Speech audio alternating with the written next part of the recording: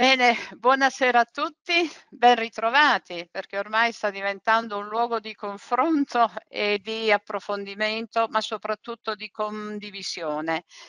E stasera la FIDE ripropone eh, un webinar sugli aspetti normativi che sono venuti mh, a delinearsi man mano che l'emergenza Covid-19 andava sempre più eh, dilagando. Adesso siamo arrivati, speriamo, a una fase più tranquilla, però per gli aspetti normativi e gli aspetti che ci interessano come come scuole, come realtà, abbiamo bisogno effettivamente di eh, approfondire. E, ehm, oggi con noi ci sono um, ritroviamo molto volentieri il ragioniere Angelo Agostinis, eh, il ragioniere Ettore Ferraro, l'avvocato Emanuele Montemarano. Anche oggi andremo ad approfondire aspetti fiscali, lavoristici e legali però questa volta avendo come scenario il decreto rilancio, il numero 34, che in questi giorni anche sta eh, in seguito anche degli emendamenti, è in discussione alla Camera, però intanto abbiamo già degli elementi utili per le nostre riflessioni, ma soprattutto per l'applicazione che dovremo dare nelle nostre realtà. Io non voglio togliere molto tempo, mh, mm, oltre a salutare tutti voi per la presenza, per la partecipazione, ricordo che è possibile nella sezione domande porre dei quesiti e questa volta li, eh, cercheremo di dare risposta cercheremo di dare risposte mm, all'interno di questo incontro dove possibile, altrimenti poi troveremo altre modalità comunque per farvi arrivare risposte ai quesiti posti. Come si svolgerà l'incontro di oggi? Innanzitutto ci sarà un intervento a due voci sugli aspetti lavoristici e legali e con Emanuele Montemarano e Ettore Ferraro. Poi dopo ci sarà un intervento di Angelo Agostinis che sempre a partire dal decreto 34 del, del 2020 sul decreto rilancio eh, ci mh, mm, presenterà un po' gli aspetti fiscali. Poi ritorneranno Emanuele Montemarano Ettore Ferraro per dare delle eh, prime risposte, poi si aggiungerà Angelo Agostinis e, e, poi andremo a concludere. Io auguro a tutti buon, un buon pomeriggio e, e, buon webinar. Grazie ancora a, a Ettore Ferraro, Angelo Agostinis e Emanuele Montemarano per la loro disponibilità, la loro competenza e il loro accompagnarci in un momento sicuramente non facile e non bello e speriamo di poter all'orizzonte vedere spiragli di speranza e di eh, di inizio oppure di un, nuovo, un nuovo inizio. Grazie a tutti e, e buon webinar a tutti. Ringrazio la Presidente non solo per l'organizzazione di questo incontro, ma direi per l'attenzione instancabile che la FIDA del primo giorno di lockdown eh, ha mostrato nei confronti di tutti i nostri istituti in una pagina non facile. E, come vedete va di moda quando il periodo è difficile dare alle leggi dei nomi rassicuranti, ma come temo che il decreto cura non abbia curato il paese, temo che il decreto rilancio non lo rilancerà. Però noi interessa oggi capire alcuni nodi operativi per dare delle indicazioni in un momento di estrema confusione, ma è così in tutto il mondo perché ovviamente siamo legati a un'emergenza sanitaria di cui non conosciamo le evoluzioni eh, ma questo decreto è veramente complesso perché è stato concepito un po' come il testo unico sul Covid, cercando di accorpare un po' tutta la normativa di emergenza prime settimane. Eh, vi do qualche numero per capire di cosa parliamo. È un decreto fatto di 111.000 parole con 620 rimandi ad altri testi di legge, quindi qualcosa di incomprensibile a qualunque comune mortale, eh, decine di migliaia di emendamenti già presentati, rinvio a 103 provvedimenti attuativi che non si sa se vedranno la luce ed è un testo formato da 1051 commi, al che il più famoso giurista italiano, il massimo esperto di diritto amministrativo, Sabino Cassese, lo ha commentato con estrema dolcezza con questa frase. Chi lo ha scritto non conosceva né il diritto, né la logica, né il buonsenso. Questo è per confortarci, però siccome le leggi non le dobbiamo commentare, ma ovviamente spiegare operativamente, ma mi sembrava importante a chi ci ascolta dare la dimensione della eh, complessità di questo eh, eh, settore. Eh, le parole chiave sono un po' le stesse che abbiamo condiviso l'altra volta parlando del decreto cura, e quindi eh, il set degli strumenti che il legislatore ha scelto per gestire l'emergenza Covid sostanzialmente si basa su quattro concetti, poi ce ne sono altri, ma gli strumenti fondamentali sono questi quattro. Gli ammortizzatori sociali, il blocco dei licenziamenti, lo smart working e i protocolli per la sicurezza. Poi nei rivoli di questo testo così complesso troviamo milioni di argomenti su cui dovremmo soffermarci, ma in sostanza eh, eh, ciò che ri rileva per i nostri istituti è come rispetto al decreto cura si sono evoluti questi quattro strumenti che sono quelli fondamentali nella gestione dell'emergenza. E quindi cerchiamo in questa finestra di vederli rapidamente con una prima introduzione normativa e poi grazie eh, al ragionier Ferraro con indicazioni più tecniche operative che poi sono quelle di cui avete maggiormente bisogno. Ecco, cosa cambia? Ovviamente non abbiamo il tempo di rispiegare tutto quello che ci siamo detti nel precedente webinar, quindi ragioniamo sulle differenze, poi con le domande se ci sono punti da chiarire, con Ettore saranno chiariti. Ma il primo punto è che gli ammortizzatori sociali eh, sono stati eh, prorogati di altre nove settimane. Quindi eh, con un meccanismo di raddoppia, ricordo il famoso lascia o raddoppia tipico di questo decreto, la durata o il valore economico di molti emolumenti lo vedremo è stato raddoppiato anche in coincidenza col prolungarsi dell'emergenza. Ma sarebbe troppo semplice, troppo bello e forse non avremmo organizzato questo webinar se sic et simpliciter le nove settimane fossero diventate 18. In realtà ci spiegherà adesso Ettore che il meccanismo è molto più contorto perché in realtà le nove settimane iniziali non sono ora 9 più 9, ma sono 9 più 5 più 4.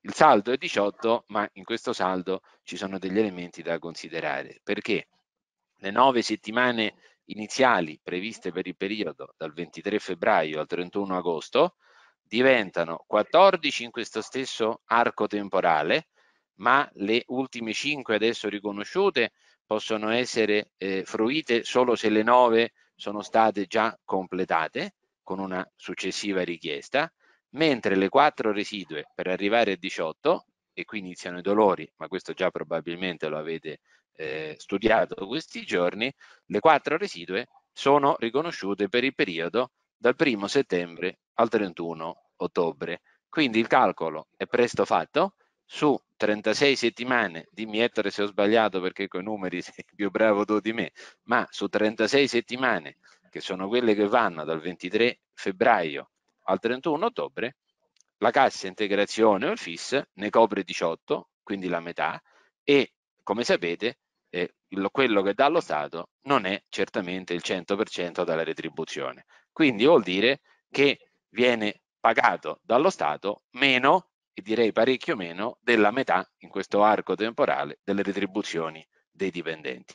Cosa a cui corrisponde, lo vedremo dopo, fino al 17 agosto, il blocco dei licenziamenti. Questo è il problema, ma siccome è un problema che stanno ponendo ovviamente tutte le associazioni imprenditoriali, io su questo, ecco, il decreto legge è un testo per natura precario, che già sono in discussione migliaia di emendamenti, vedremo se nella conversione in legge questa eh, contraddizione in qualche modo sarà sanata. Però per capire oggi come stanno le cose, poi magari lascio a Ettore per gli aspetti anche più operativi già descritti in questa slide, cioè termini per le domande eh, e tutte le istruzioni per l'uso, ma il concetto sostanzialmente è che è vero che sono raddoppiate le settimane per gli ammortizzatori sociali, ma non coprono tutto il periodo e quindi bisognerà poi capire, se non cambia il testo, come poter gestire eh, la ricaduta economica disastrosa per gli istituti di questo eh, combinato disposto tra il blocco dei licenziamenti, che poi vedremo,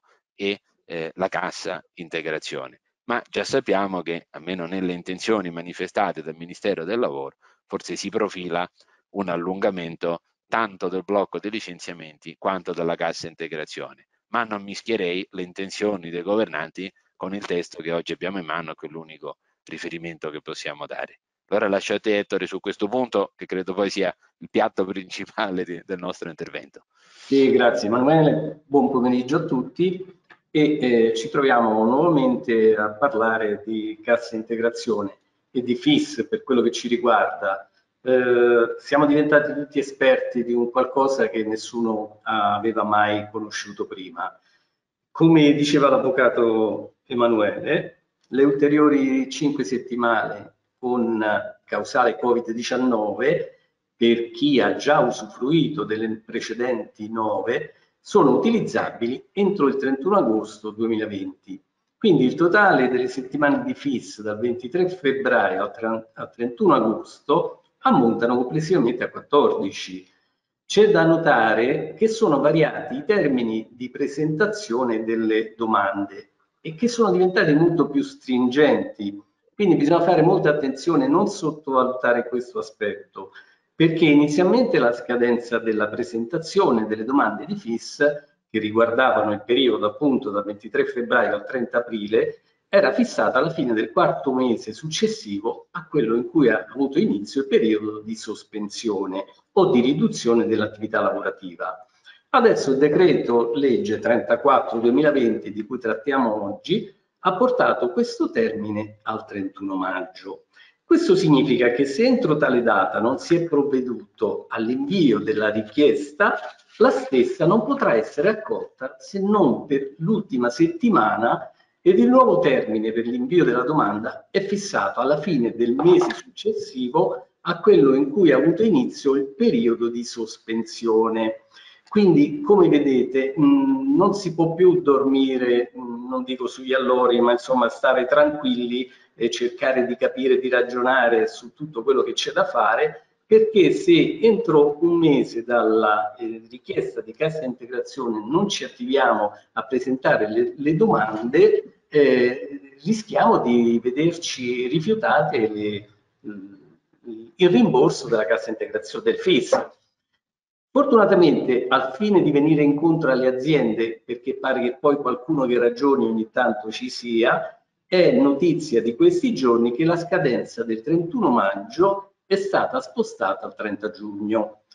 Dopo di questo non ci saranno più scuse, quindi io vi, eh, vi suggerisco di interessarvi se i vostri consulenti abbiano inoltrato eh, correttamente queste pratiche per, il, per le prime nove settimane, altrimenti veramente eh, saranno problemi. Dopo di ciò sono previste eh, ulteriori, dopo le cinque, sono previste ulteriori quattro settimane che possono essere consecutive alle precedenti per i settori del turismo, fiere, congressi, spettacolo, mentre per tutte le altre categorie le quattro settimane si possono prendere soltanto nei mesi di settembre e ottobre. Quindi noi avremo le prime nove settimane ormai già fruite, ulteriori cinque settimane che possiamo accodare fino a, ad arrivare probabilmente intorno alla prima decade di giugno e poi si sospende il tutto perché al momento non abbiamo traccia di eh, volerci riconoscere un accodamento delle ulteriori quattro settimane è pur vero che eh, le vostre associazioni stanno facendo di tutto per ottenere diciamo, una concessione in tal senso, ma a tutt'oggi non abbiamo notizie. Quindi si profila eh, diciamo, un periodo veramente critico. Eh, come potete capire è una strada irta di ostacoli dove nulla è scontato, anzi sembrerebbe che sia tutto molto aleatorio. Eh, c'è da sapere anche che per queste ulteriori quattro settimane, che non sono così, diciamo, alla fine te le concedo e stai tranquillo che, che le hai, non è così, perché sta, è stato istituito un apposto capitolo di bilancio dove vengono stanziati per il 2020 circa 2.740 milioni di euro ma il trasferimento di queste risorse nei vari fondi, quindi FIS, CIG, CIG eccetera, è rimesso ad uno o più decreti del Ministero del Lavoro di concerto con il Ministero dell'Economia nel rispetto dei saldi di finanze pubbliche da adottare entro il 31 agosto 2020. Quindi voi capite bene che con tutto questo meccanismo contorto si rischia anche di, alla fine di non riuscire ad accedere neanche alle quattro settimane, laddove eh, ne avessimo la possibilità. Attualmente le quattro settimane sono spendibili in settembre ed ottobre. Ripeto, si sta facendo di tutto per cercare di farcele riconoscere, anche perché per alcune categorie appunto è stato previsto l'accodamento, non capiamo per quale motivo le scuole non debbano rientrare in queste eh, categorie. Diversamente, esaurite le possibilità di accesso al FIS con causale Covid-19, che mh, questa causale è stata un po' un lasciapassare, se vogliamo, perché eh, normalmente accogliersi al FIS eh, prevede una serie di, di adempimenti burocratici che eh, non sono così snelli. Eh, in effetti eh, il FIS lo possono richiedere i datori di lavoro che vanno da 5 a 15 dipendenti o quelli che vanno oltre i 15 dipendenti. In una modalità o nell'altra esistono due diversi tipi di calcoli. Il calcolo dei dipendenti, per capire a quale categoria apparteniamo, viene fatto riferendosi alla media occupazionale del semestre precedente. Quindi non è sufficiente contare il nostro numero dei dipendenti così a testa, ma bisogna fare il calcolo dell'orario di lavoro di ciascuno, perché per esempio due part-time al 50% fanno un dipendente e laddove abbiamo delle piccole realtà, magari le piccole scuole parrocchiali, qualche piccolo istituto, che pensa di avere 6-7 dipendenti, sviluppando il calcolo con questo criterio, si ritrova ad avere meno di 5 dipendenti. E pertanto si vede negata la richiesta di cassa integrazione in FIS perché eh, il limite dimensionale dell'azienda non prevede che debba essere quello il canale al quale va chiesta la cassa integrazione piuttosto che una cassa integrazione in deroga dedicata ai datori di lavoro con meno di 5 dipendenti. Quindi bisogna fare attenzione anche a questo. Inoltre gioca anche eh, l'intera consistenza del, delle istituzioni eh, che sono sotto lo stesso codice fiscale ed è, e pertanto noi avremo la maggior parte degli istituti che superano i 15 dipendenti eh, da considerare inoltre nel conteggio dei dipendenti in caso di assunzioni per sostituzioni di malattie, maternità, eccetera, che questi dipendenti vanno conteggiati una sola volta. Eh, non possiamo o prendiamo i sostituti o prendiamo i sostituiti. Eh, pertanto avvicinarsi a un fisso ordinario ci comporta tutta una serie di obblighi. Eh, c'è da prevedere eh, che ci sono consultazioni sindacali da fare, prima c'è da fare un'informativa, poi c'è da fare una consultazione sindacale, confrontarsi con i sindacati eh, che eh, a loro volta faranno anche le loro richieste per poter concedere diciamo, l'avallo per un ulteriore periodo di cassa integrazione e la procedura è abbastanza lunga se eh, si rischia di attivare questa procedura e siamo arrivati alle ferie per quello che riguarda gli istituti scolastici. Quindi io direi che di valutare bene eh, se eh, accedere o meno a questa possibilità oppure trovare qualche altra forma, qualche altra soluzione eh, tra le parti che potrebbe diciamo salvare capre e cavoli. Eh, c'è da considerare negli istituti che qualcuno avrà fatto anche le 70 ore e quindi buona parte del mese di giugno non è da prendere in considerazione. Eh, qualcun altro magari non ha fatto nulla, quindi sono situazioni da verificare caso per caso ed eventualmente non, in questi giorni non accade nulla di, che possa essere soddisfacente, possa darci qualche tranquillità, cominciare a pensare, di, secondo, questo è il mio parere, eh, cominciare a pensare di fare degli accordi con i lavoratori per eventualmente gestire una sorta di banca ore. Eh, quindi noi ci rendiamo conto che i lavoratori hanno delle difficoltà obiettive economiche, quindi anche loro hanno necessità di avere una retribuzione. L'istituto dal canto suo non ha queste facoltà di poter retribuire se non ha eh, diciamo incassi e rette che coprono, eh, quindi non riuscirebbe a sostenere un costo così diciamo eh, senza una contropartita. Un'idea potrebbe essere quella di metterci d'accordo, eventualmente conteggiare quante ore vengono perse ed eventualmente recuperarle durante l'anno scolastico come ore aggiuntive eh, senza retribuzione perché sono state già retribuite precedentemente. E io spero che il governo, siccome si vocifera anche un, una proroga di questa cassa integrazione fino a dicembre, ma non sappiamo con quali modalità, sono, sono ancora voci di corridoio. Quindi mh, io spero che nel giro di una settimana eh, ci sia un po' di luce, un po' di chiarezza e così eh, potremmo eh, fare le nostre mosse. Tu Emanuele che ne pensi?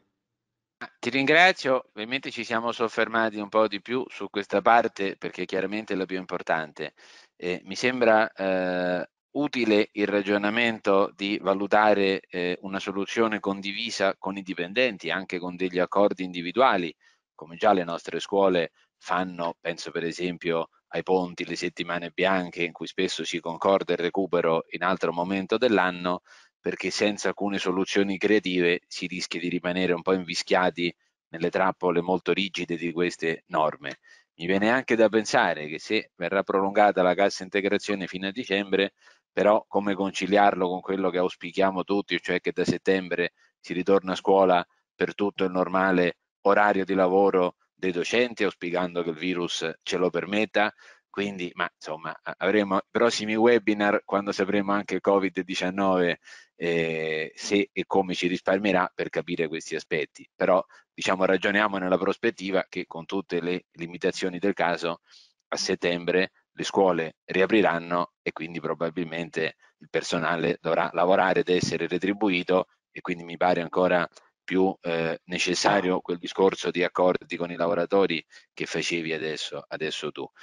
Eh, andrei velocemente, li abbiamo solo elencati su alcuni diritti dei lavoratori riconosciuti da questa normativa perché per ragioni di tempo poi non possiamo approfondire tutto, ma credo che oggi ci interessi più che altro eh, analizzare per i gestori quali sono i nodi operativi più importanti. Però ricordiamo che con quel meccanismo del raddoppio che dicevo prima, intanto è stato esteso a 30 giorni e non più a 15 il congedo straordinario retribuito per i genitori con i figli minori di 12 anni pagato al 50% da godere entro il 31 luglio.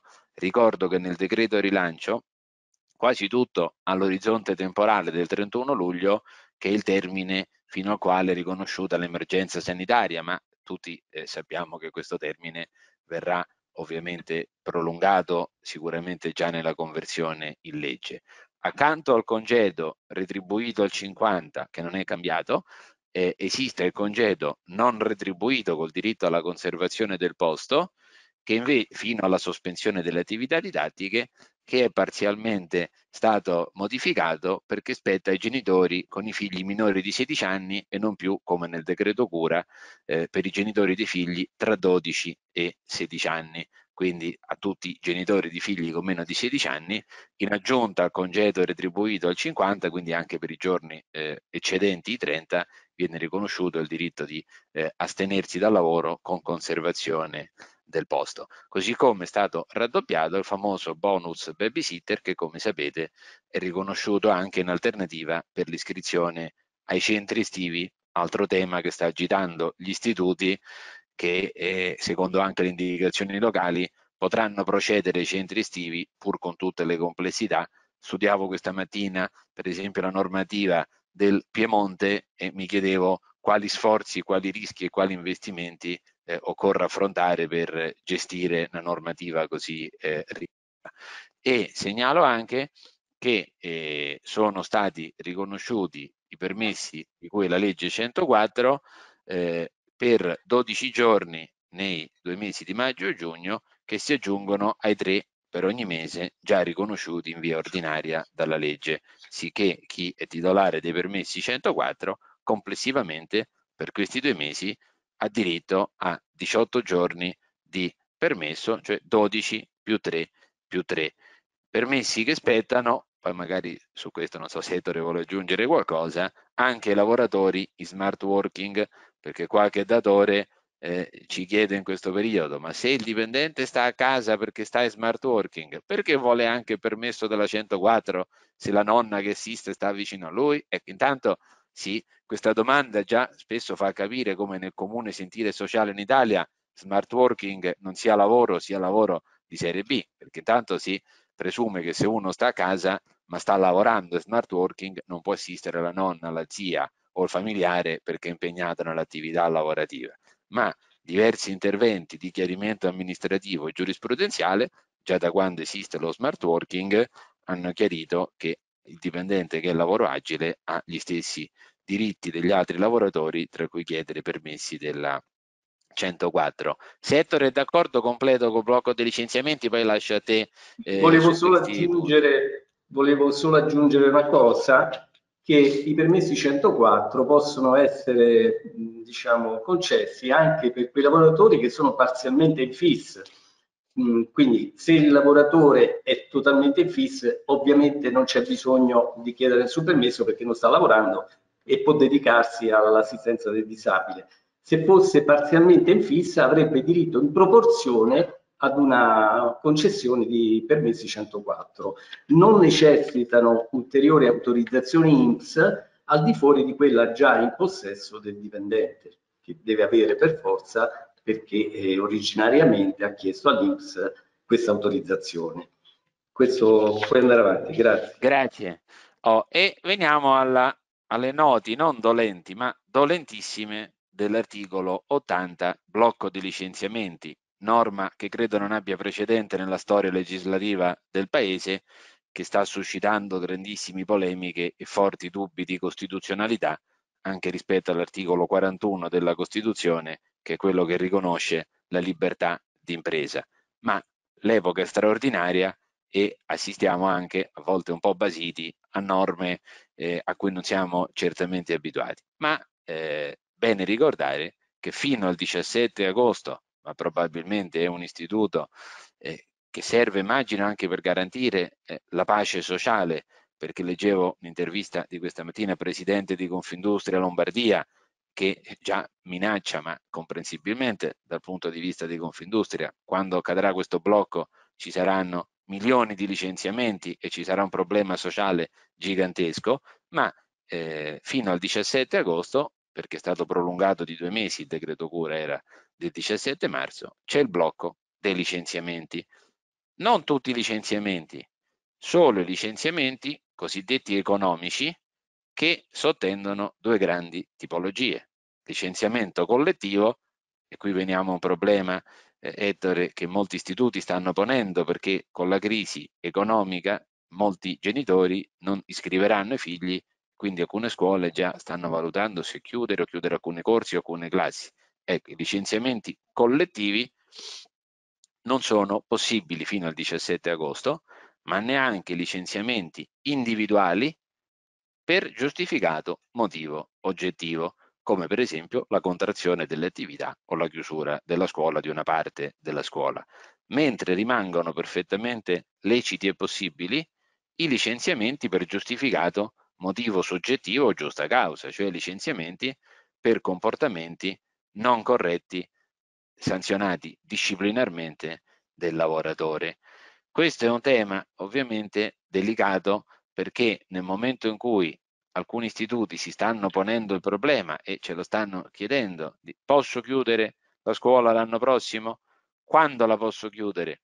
Perché se devo aspettare che cade il blocco di licenziamenti, che faccio? Lo dico ai genitori? Il 10 settembre partiranno subito le cause civili e penali per truffa, perché il nostro è un servizio pubblico, risarcimento danni per non aver avuto il tempo di iscrivere o di scegliere un altro istituto. Ecco, allora qui eh, direi, poi su questo magari lascio qualche riflessione di Ettore, intanto di disgiungere il rapporto giuridico con le famiglie da quello con i lavoratori. Cioè se oggi l'istituto decide di chiudere, è libero di farlo, è libero di comunicarlo ai genitori, anzi lo deve comunicare nel tempo utile per poter adottare delle decisioni, dopodiché appena cade il blocco si faranno partire le procedure per i licenziamenti. Ma non ci sfugge eh, che unendo il tempo necessario per tutte le procedure sindacali, che durano almeno un paio di mesi, ne credo che il 17 agosto se questo blocco non viene prorogato, tutti i sindacati saranno pronti il 18 mattina per avviare le procedure. Più quattro mesi di preavviso, sostanzialmente io direi che proprio eh, fatta eccezione per casi di straordinaria necessità, conviene resistere per un anno, anche perché riteniamo probabile, credo sia io che Ettore, che questo divieto sarà prolungato, ma in ogni caso forse avere pochi alunni l'anno prossimo risolve anche un po' il problema del distanziamento di tutto ciò di cui non parliamo oggi, ma che conosciamo. Quindi poi ognuno chiaramente valuterà le proprie strategie e le proprie condizioni, però è bene rappresentare che decidere adesso di chiudere o ridurre l'attività per il prossimo anno vuol dire andare incontro a un gigantesco punto interrogativo, ma anche a dei costi eh, che sono enormemente superiori a quelli che normalmente a chiudere la scuola perché rischiamo di dover comunque pagare un numero di mensilità senza il servizio per cui ecco, è bene ricordarsi di questo aspetto perché adesso è il momento in cui si decide non solo come andare avanti l'anno prossimo, ma anche se andare avanti in alcune realtà. Non so Ettore se rispetto a questo punto sì.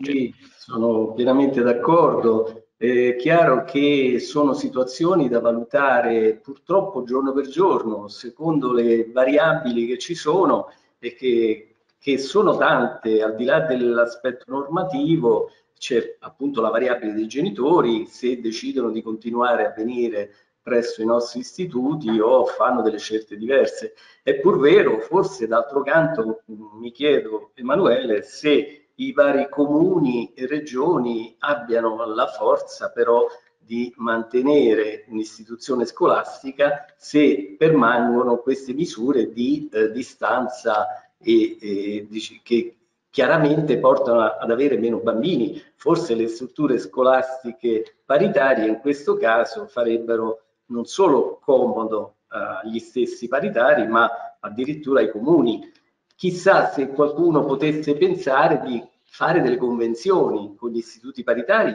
che hanno degli ambienti bellissimi, eh, eh, pronti ad accogliere i giusti bambini contro istituti pubblici fatiscenti e che non riuscirebbero a gestire la massa di alunni. Quindi forse qualcuno si potrebbe affacciare e pensare a una sorta di convenzioni con questi enti.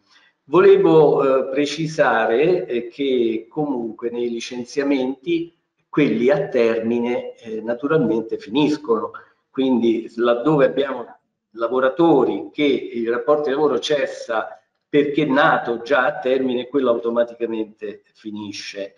Eh, volevo gettare un'ancora di salvataggio, se così si può dire, eh, io ho notato, non so se anche tu sicuramente hai visto questo Emanuele, c'è una vacazio legis nei giorni 17 e 18 maggio, eh, nell'intervallo tra un decreto e l'altro, perché il decreto Cura Italia prevedeva eh, il blocco, il divieto di licenziamento fino al 16 maggio, il decreto eh, rilancio prevede eh, parte dal 19 data di approvazione, rimane il buco di due giorni.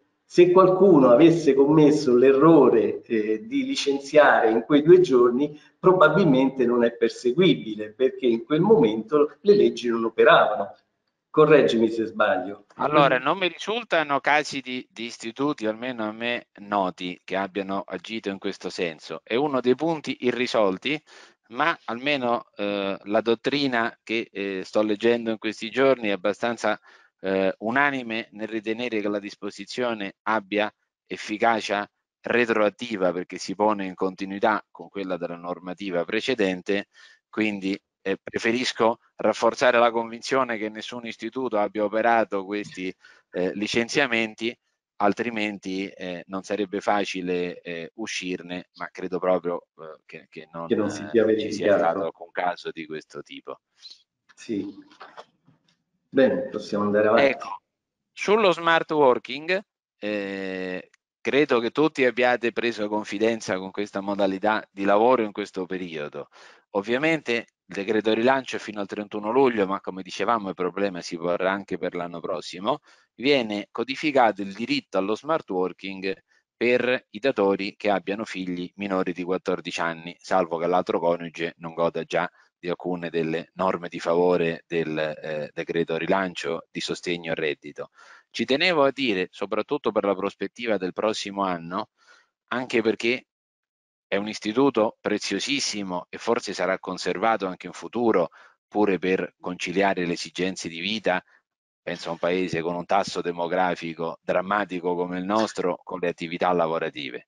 Dall'altra parte, poiché molti lavoratori hanno scoperto quanto è gradevole lavorare in poltrona a casa propria, molti cominciano a invocare il diritto allo smart working. Ecco, ricordiamo adesso, ma anche a memoria futura, che intanto anche per chi ha figli con meno di 14 anni, il decreto rilancio non riconosce questo diritto se la modalità agile non è compatibile con le caratteristiche della prestazione lavorativa, sicché il docente neanche a parlarne, ma pensa a un segretario amministrativo di una scuola che dice ma io anche da casa mi collego e posso, non è vero perché è, è, hai un compito frontline, ricevi le persone, devi interagire con i docenti che stanno a scuola, quindi chiariamolo, non esiste nessun diritto allo smart working neanche per chi ha figli piccoli perché è sufficiente per l'azienda dimostrare che quella prestazione non è utile in tutto o in parte se resa da casa propria. Ecco, questo mi sembrava importante perché è uno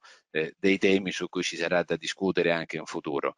L'ultimo punto prima della sicurezza, poi lascio a Ettore una conclusione su questa parte, sia sullo smart working che sui contratti a termine, non so quanto questo dei contratti a termine sia un punto che interessa le nostre scuole per come è strutturato un po' da noi il contratto a termine, ma in ogni caso, anche qui con un grande punto interrogativo, farò la domanda a Ettore eh, eh, su questo perché è un chiarimento prezioso, ma eh, è stabilito che eh, non si applica la normativa generale per cui ci vuole la causale tranne il primo eh, contratto a termine, quindi si possono liberamente rinnovare o prorogare, ma non stipulare nuovi contratti a termine. Prorogare vuol dire quelli ancora non scaduti, allungarli e rinnovare vuol dire un nuovo contratto già scaduto fino al, tre, al 30 agosto. Quindi, ripeto, no a nuovi contratti a termine senza la causale, eh, sì alla proroga o al rinnovo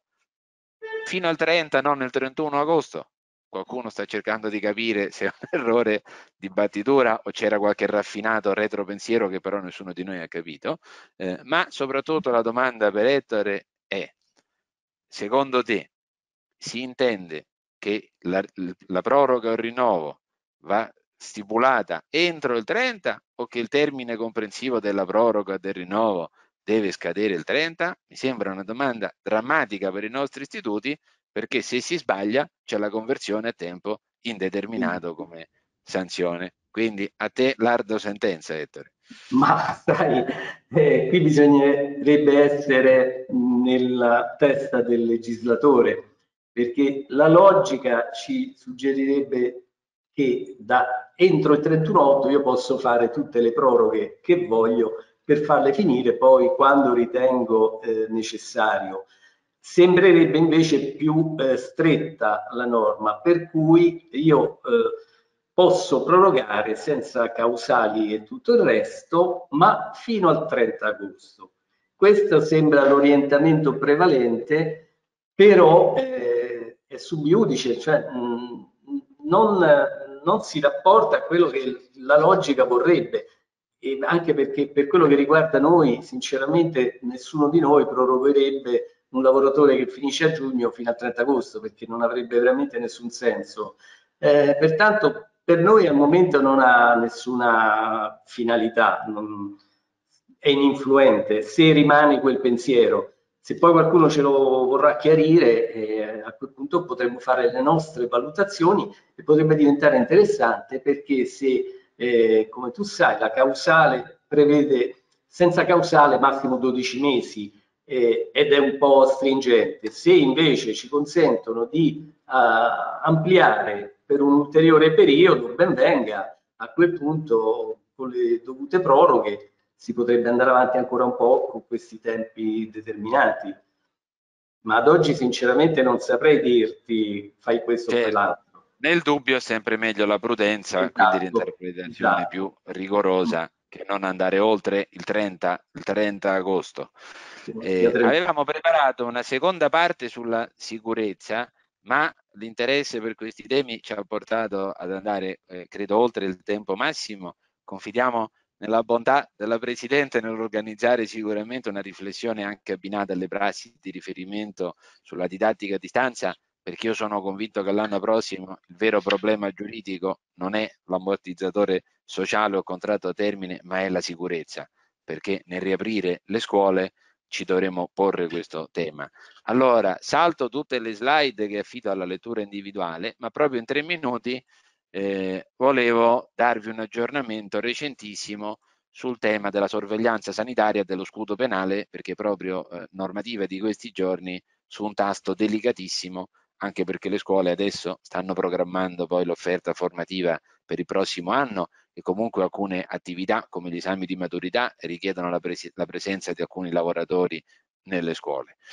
Eh, fino adesso noi abbiamo ragionato di sorveglianza sanitaria ordinaria secondo il testo unico sicurezza sul lavoro che la richiede per alcuni lavoratori soltanto e sappiamo anche che alcune scuole non hanno il medico competente.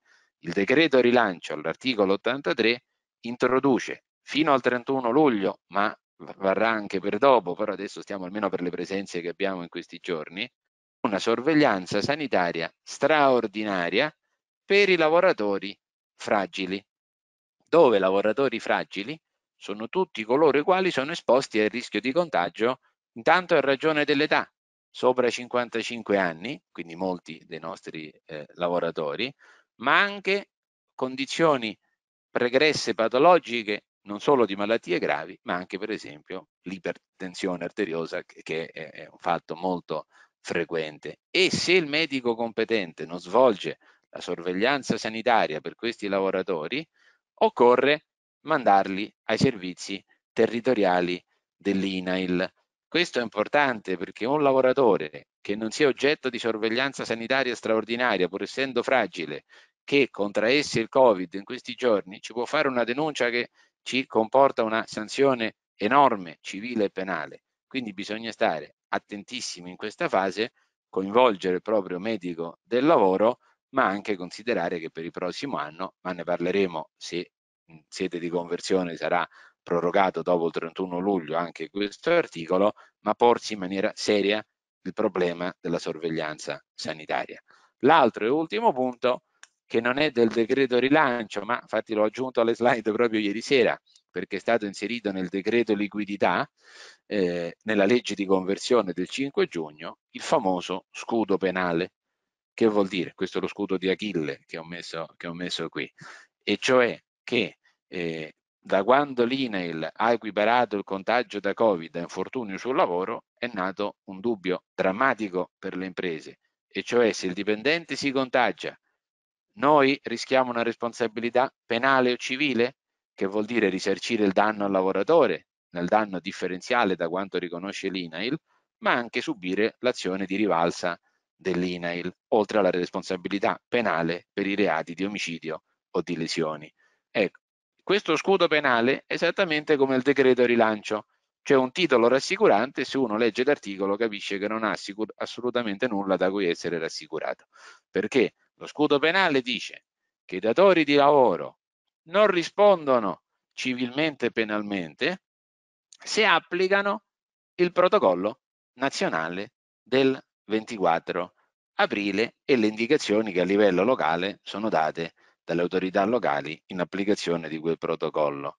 Quindi vuol dire, e vi lascerei con questo messaggio che ritengo di fondamentale importanza, anche perché ascolto anche spesso questi giorni istituti che stanno accogliendo lavoratori senza aver redatto protocolli aziendali conformi al protocollo nazionale e senza aver aggiornato il documento di valutazione rischi e il DUVRI quando ci sono appalti, come quasi sempre ci sono negli istituti religiosi, che la lettura al contrario di questo scudo penale è che l'istituto che non ha adottato dei protocolli aziendali coinvolgendo medico del lavoro, RLS, RSPP e datore di lavoro con delle procedure scritte che in modo chiaro e tracciabile governano il rischio da contagio, al primo caso di infezione di un alunno, di un genitore o di un dipendente, incorrono in gravi sanzioni. È vero che è un problema da porsi per il prossimo anno insieme alle misure che il Ministero nella sua bontà vorrà darci prima forse che andiamo tutti in vacanza per poter definire il POF dell'anno prossimo, ma questo è un testo già in vigore, vale già per i dipendenti che stanno venendo in questi giorni, per cui il mio richiamo accorato e per chi non l'abbia fatto a prendere con urgenza in mano il protocollo nazionale di aprile e scrivere un protocollo interno che punto per punto dica l'istituto come applica il protocollo nazionale. Perché con la responsabilità civile ci si salva con le assicurazioni, ma dalla responsabilità penale è difficile salvarsi. Se avete qualche domanda, poi saremo uh, a disposizione con Ettore dopo l'intervento di Angelo per, eh, nei limiti da poco tempo, eh, dare una risposta, ma anche chattando magari qualcosa possiamo già eh, dirvi subito. Allora chiudo il microfono e passo al ragioniere Agostinis per la parte fiscale.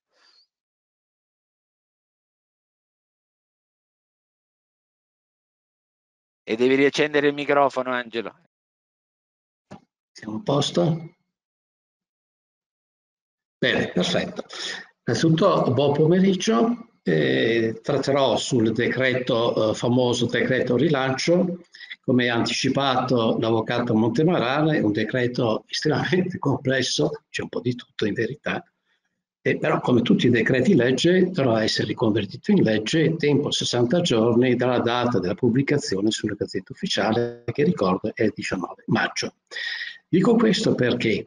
Perché in verità in fase di approvazione definitiva da parte del Parlamento ci sono stati degli interventi consistenti che va, andranno sicuramente a modificare sostanzialmente il decreto così come è stato emanato il 19 di maggio.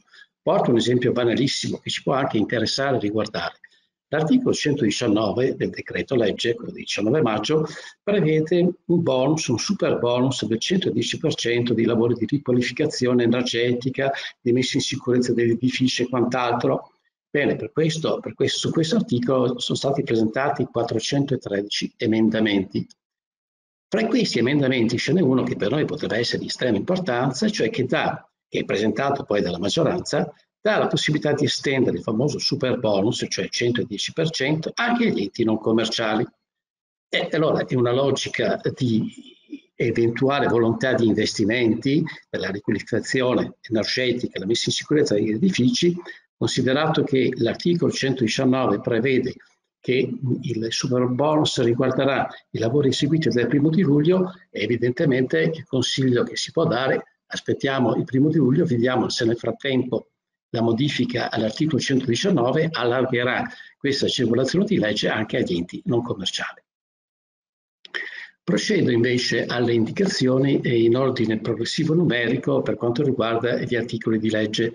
Sono un po' così, non c'è un coordinamento ben definito nella stesura del decreto.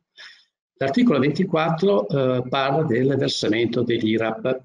Noi sappiamo che il saldo IRAP 2019 e il primo conto 2020 non sono dovuti naturalmente con un unico limite di ricavi e compensi superiori ai 250 milioni, perciò chiaramente ci siamo dentro tutti. Quello che a me interessa invece è richiamare un momentino l'attenzione sull'articolo 25 che eh, ha come riferimento il contributo a fondo per tutto, perché le modalità attuative sono state proprio definite con un provvedimento di eccezione delle entrate del 10 giugno, perciò è una cosa recentissima, la parentesi in tarda serata. Cosa dice il provvedimento, l'articolo 25, che fa parentesi, ripeto, l'Agenzia dell'Entrata ha provveduto a emanare il provvedimento nonostante eh, il decreto legge sia sì in vigore, ma non ancora tramutato in legge. Evidentemente sono tranquilli che eh, arriverà a buon fine il riconoscimento dell'articolo 25. Premessa, sono esclusi dal contributo coloro che hanno compensi e ricavi per un importo superiore ai 5 milioni, evidentemente aspetto dimensionale nella, eh, nelle modalità attuative ci sono delle interessanti indicazioni proprio per evitare che si vada a commettere errori nella presentazione della dichiarazione che l'articolo appunto 25 prevede deve essere fatta dal soggetto interessato. E allora, cosa dice? Per gli enti non commerciali, quelli in contabilità ordinaria o semplificata, si fa riferimento per gli ordinari all'RS 111 e qui è da, è da un momentino soffermarci. Nel rigo RS 111 vanno indicati la montare dei ricavi, lettera A e B dell'articolo 85 testo unico, cioè corrispettivi di cessione di vendite e prestazione di servizi alla cui produzione o al cui scambio è diretta l'attività dell'impresa, questo recita l'articolo. La cosa interessante cos'è? Che nell'elencare, nell'elencare eh, il, il, il, alla sommatoria diciamo così, dei corrispettivi per cessione, prestazione, beni e servizi, la circolare ministeriale che dettaglia e dà istruzioni sul, sulla compilazione di questa richiesta di finanziamento precisa che concorrono alla formazione della montata del fatturato anche la cessione di beni eh, strumentali. Questo cosa significa? Che se casualmente io al mese di aprile ho venduto un bene strumentale che mi può portare fuori dai limiti di legge, eh, sono penalizzato. Però, ripeto, è da verificare sistematicamente. L'affronto come deve essere fatto? Deve essere considerate tutte le fatture attive, chiaramente, e i corrispettivi, eh, le fatture sempre a netto di IVA, con la data di effettuazione dell'operazione compresa dal 1 al 30 di aprile, comprese anche le fatture differite emesse nel mese di maggio e relative naturalmente ad operazioni del mese di aprile. Può accadere allora, può accadere che il contributo, se fatturato, eh, può essere accesso al contributo, sì, il fatturato dell'aprile 2020 rapportato all'aprile 2019 sia inferiore ai due terzi, comunque sia registrata una diminuzione di un terzo sostanzialmente. Questo è l'aspetto fondamentale. Il contributo, minimo per gli enti non commerciali di 2000 euro. Quello che è importante eh, è poi la suddivisione a scaglioni che è rappresentata dal volume d'affari, cioè il 20% per ricavi e compensi 2019 non superiori ai 400 mila euro, 15% per ricavi e compensi dai 400 mila a un milione e 10% per ricavi e compensi da un milione a 5 milioni perché abbiamo chiarito che il tetto massimo eh, finanziabile è per coloro che hanno corrispettivi al massimo di 5 milioni. La domanda, i tempi di presentazione della domanda dal 15 di giugno al 13 di agosto, come su apposita istanza telematica d'Agenzia delle Entrate che, come dicevo, oggi è già reperibile sul sito dell'Agenzia stessa. Naturalmente bisognerà testare la sussistenza dei requisiti, comunicare il conto corrente bancario verso il quale si richiede che venga accreditato il contributo e poi naturalmente nel caso in cui il contributo così quantificato risulta essere superiore ai 150.000 euro, è necessaria anche un'autocertificazione per regolarità antimafia.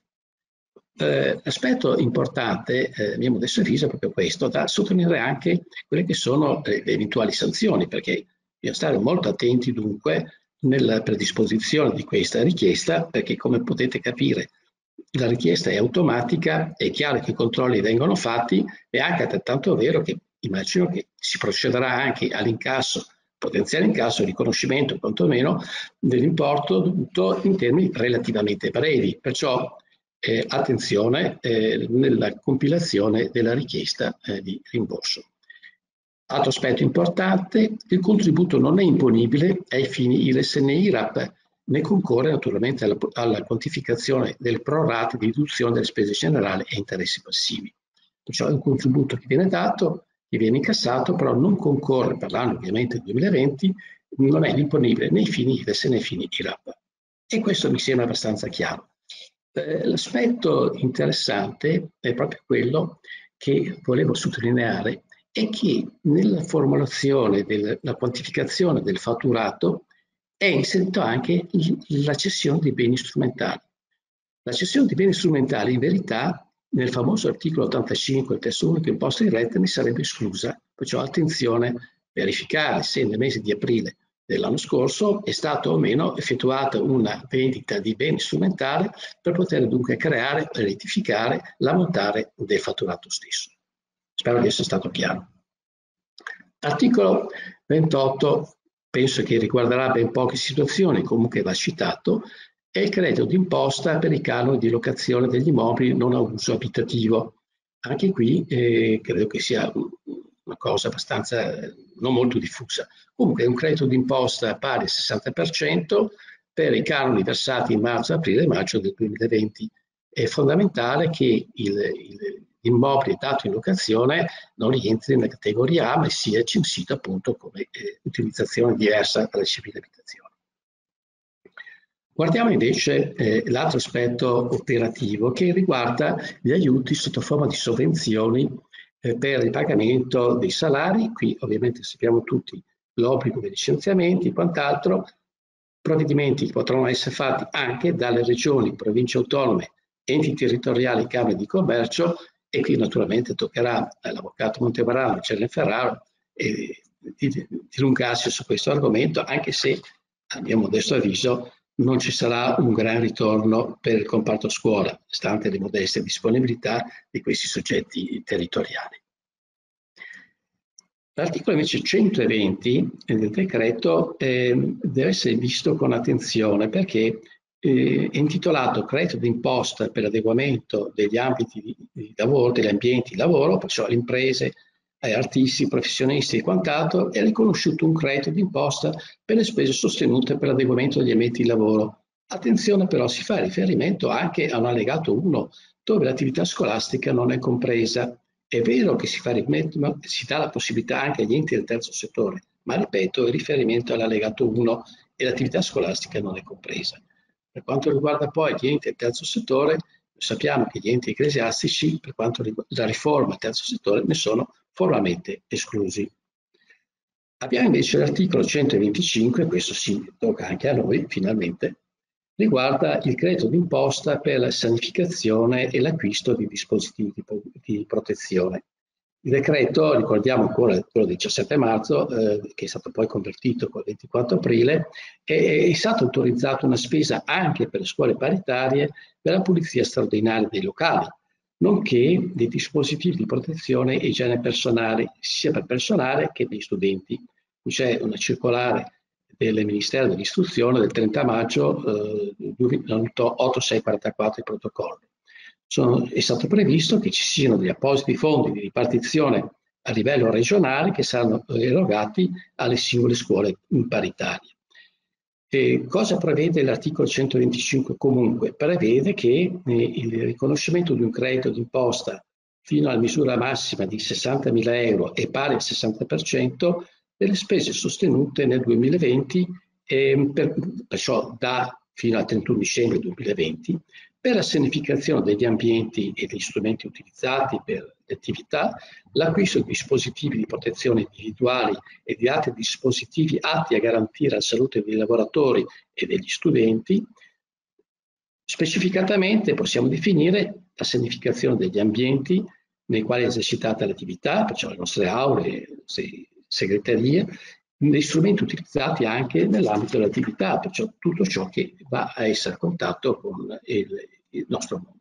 L'acquisto di dispositivi di protezione individuali, mascherine, guanti, visiere, occhiali protettive, tutte eventuali, l'acquisto di prodotti detergenti, disinfettanti, noi sappiamo perfettamente quali sono le normative in tal senso per quanto riguarda la sicurezza dell'ambiente di lavoro e gli acquisti di dispositivi atti a garantire la sicurezza appunto interpersonale, quali barriere, pronelli protettivi, eh, eventuali anche spese di installazione degli stessi.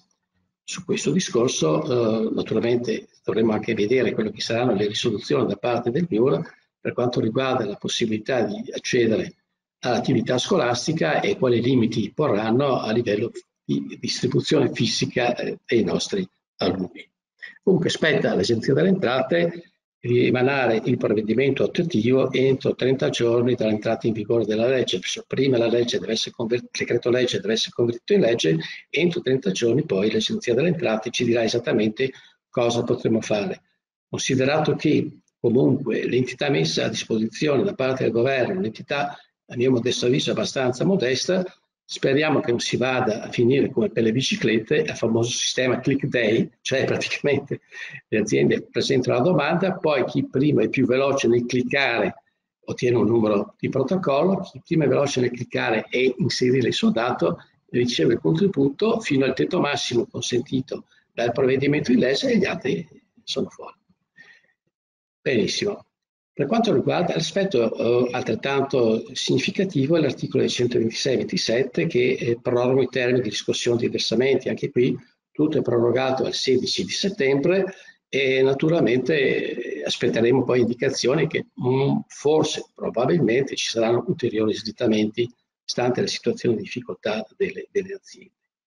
L'articolo 140 prevede la memorizzazione e la trasmissione telematica dei corrispettivi giornalieri Qui in verità non è che ce ne saranno, non ci sono, ma insomma ci potrebbe essere qualche attività specifica resa comunque all'interno della scuola e riguardo comunque coloro che nel, hanno avuto un volume d'affari inferiore ai 400.000 euro e che si troverebbero ad avere l'obbligo di inoltre della memorizzazione telematica dei corrispettivi giornalieri del primo di luglio. Tutto questo è stato prorogato al, al primo di gennaio del 2021 come è stato prorogato eh, al 2021 anche la lotteria sugli scontrini. E anche questo è una cosa. Quello che mi interessa invece, e questo sicuramente può essere eh, utile per noi, è affrontare il discorso dell'esenzione a, eh, a conto IMU sul settore turistico e eh, la, il, la possibilità di riferimento di termini di versamento in materia di IMU. Su questo punto mi sono state presentate delle domande, delle richieste di chiarimento. In che senso? Allora, noi sappiamo che eh, appunto l'articolo 177 prevede per le strutture ricettive eh, la possibilità di eliminare eh, l'acconto dell'IMU, non si paga, ed è trocato anche la possibilità da parte dell'amministrazione comunale di differire l'acconto IMU che come tutti ricordiamo scade il primo acconto, scade il 16 di questo mese. Su questo punto è intervenuto eh, il, il, Ministero dell'Economia e delle Finanze con un provvedimento il quale chiarisce che i comuni possono differire i termini di versamento del primo conto, cioè quello del 16 giugno, però solamente per la quota che riguarda loro, non per la quota attinente allo Stato. Conseguentemente, nell'ipotesi in cui qualche comune, che in verità molto pochi, avessero differito il termine di versamento del 16 di giugno, dovremo anche rivedere il tutto perché dovremo distinguere la quota a favore del comune e conseguentemente accantonarla e differirla, ma versare comunque entro il 16 di giugno la quota a carico del, dello Stato. C'è una cosa che poi mi interessava sempre per quanto riguarda eh, questo famoso articolo 177 che non è attinente alla scuola, però ovviamente può coinvolgere l'ente ecclesiastico. L'articolo 177 ha previsto l'esonero eh, del versamento dell'acconto a favore nei settori particolarmente colpiti quali stabilimenti balneari e poi, a seconda fattispecie, gli immobili degli agriturismi, villaggi turistici, ostelli della gioventù, i rifugi di montagna, delle colonie marine montane, degli affittacamere, dei brevi soggiorni delle affittacamere, attenzione, delle case appartamenti per vacanze, bed and breakfast, dei residence e dei campeggi. Condizione però che siano i proprietari i soggetti gestori. Eh, quello che vorrei far notare è che nell'elencazione prevista dall'articolo 177 non, sono, non sono menzionate le case per ferie. A questo punto la domanda sorge spontanea. E allora, una congregazione che si ritrova ad avere una casa per ferie, noi sappiamo che normalmente le case per ferie sono inserite, teniamo presente che le normative in questa materia di competenza delle regioni sono inserite tra le strutture ricettive complementari. Non avendo elencato l'articolo 177, non avendo riportato anche l'agevolazione anche per le case per ferie, sostanzialmente l'IMU da pagare oppure no? Ecco, ehm, su questo punto è difficile dare una risposta immediata, però io direi a mo' di conforto di vedere quella che è la normativa regionale appunto di ogni singola regione, vedere ciò che le regioni prevedono come strutture ricettive e complementari e vedere se nell'elenco sono comprese o meno le case per ferie. Molte volte lo sono. La, la domanda che sorge spontanea è è stata un'omissione voluta o è stato semplicemente una dimenticanza da parte del legislatore che nel menzionare tutta una serie di soggetti agevolati, appunto perché eh, agiscono all'interno del settore turistico, si trova a dover affrontare un vuoto gestionale con delle perdite paurose. Le case per ferie dunque sono o non sono esenti? Eh, evidentemente eh, una risposta certa non la possiamo dare. Forse, probabilmente, in sede di conversione del provvedimento avremo anche un, fra le circolari applicative forse avremo un chiarimento da parte del Ministero delle Finanze o dell'Agenzia delle Entrate. In questo momento onestamente eh, non sono in grado o non mi sento di assumere la responsabilità di asserire che essendo le case per ferie comunque eh, all'interno delle strutture ricettive complementari eh, sono esenti, esenti dall'IMU come primo conto. Eh, io personalmente devo dire che mh, ci voglio pensare comunque per le congregazioni che seguo applicherò questo criterio guardando quelle che sono le normative regionali e vedendo quelle che sono le, le diverse fattispecie di immobili che sono considerate esenti, oltre agli alberghi e quant'altro, dunque ritengo che, ritengo che probabilmente se la normativa regionale comprende come il 90% dei casi la casa per ferie le strutture ricettive complementari, possono godere o devono godere anche loro dell'eventuale eh, agevolazione, questo sempre a mio modesto avviso. Eh, vedo che il tempo sta scorrendo, eh, io mi fermerei qui su questo, su questo tema, come potete vedere è un qualcosa che è tutto da definire, l'unica cosa che è certa come indicazioni, ma fin tanto che non diventa legge, evidentemente certa non è, e riguarda il contributo a fondo perduto, su quale però comunque i vostri consulenti eh, potranno già cominciare a fare dei calcoli e anche comunque presentare domande perché dal giorno 16 c'è la possibilità di farlo.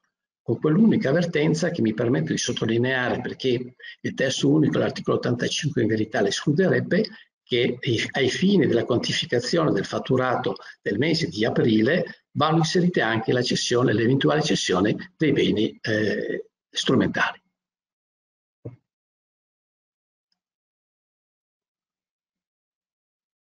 Cedo la parola.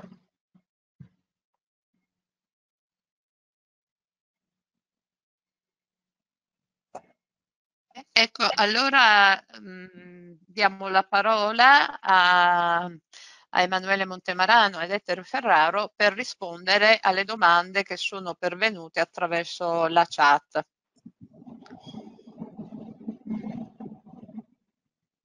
Ok. Mm, non si sente Emanuele. Ah, è vero perché non avevo acceso il microfono, chiedo perdono. Dicevo, io ho dato la risposta in, in, in chiaro, scritta a quasi tutte le domande. Eh, Ragioniere Agostini se ne aveva un paio per lui, può rispondere adesso, quindi lascerei gli ultimi minuti a Ragionier Ferraro per le prime 3-4 domande che erano tutte legate alla parte di sua competenza.